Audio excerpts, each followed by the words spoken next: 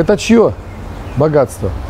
Это ремонт делают. Ремонт поставьте туда, к себе в комнату и делайте ремонт. Это городская среда. Порядок к майским праздникам должен быть в каждом дворе и на каждой улице. Но пока в Хосте еще есть над чем работать, уверен мэр Сочи. Посадить цветы, скосить траву, отремонтировать и покрасить лавочки нужно в срок до 1 мая. Особое внимание уделяют улицам, где пройдут праздничные мероприятия. Уборку сделали около памятника Ленина.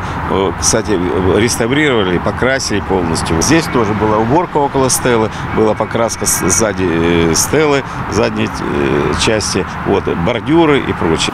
Претензии возникли к владельцам Ацестинского банного здания. Почти два года оно принадлежит новому собственнику, но находится в неудовлетворительном состоянии. Мера воздействия, административные протоколы и штрафы.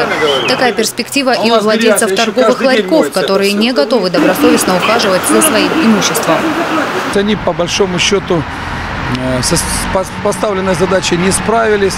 Но сейчас мы будем их брать на буксир. И я уверенно могу сказать, что за эти оставшиеся два дня вместе с администрацией города, вместе со специалистами города э, мы приведем к хорошему состоянию хосту и кудепсу. В оставшиеся дни все службы города будут работать в усиленном режиме и все недочеты к 1 мая обещают устранить.